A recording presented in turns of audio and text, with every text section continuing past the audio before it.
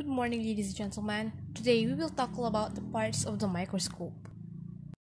But first, let's define a microscope. A microscope is an instrument that is used to magnify small objects.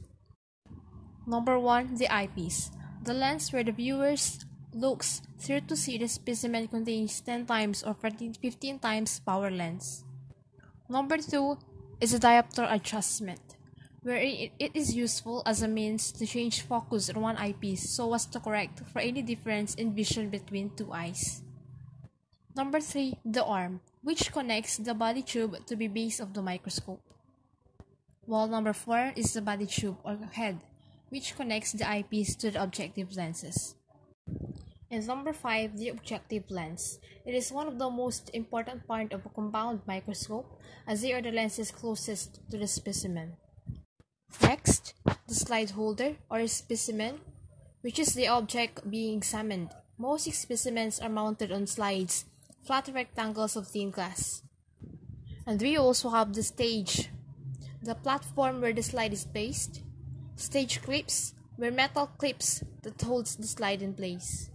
Next is the nosepiece, a rotating turret that houses the objective lenses. The viewer spins the nosepiece to select different objective lenses.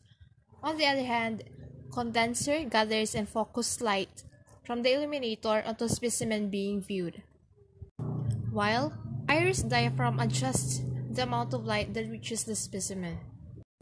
Next, coarse adjustment brings the specimen into general focus. Also, we have fine adjustment, fine tunes the focus and increases the detail of the specimen. Next is the light source, which is the illumination.